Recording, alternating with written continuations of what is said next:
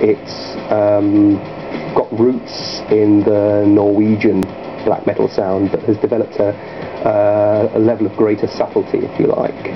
Uh, are more samples, there's more of an appeal to what you might describe as a sort of decadent sound, as opposed to the straight sort of blistering horror effect of uh, the classic black metal sound.